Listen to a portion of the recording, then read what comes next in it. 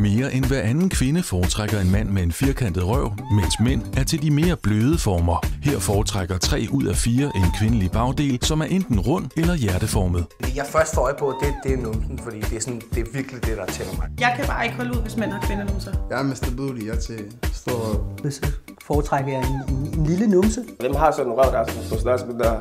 Større bedre, skal være sådan her. Nej, sådan er sådan er, vil jeg sige. Få mange flere facts, når DR3 sætter fokus på kroppen.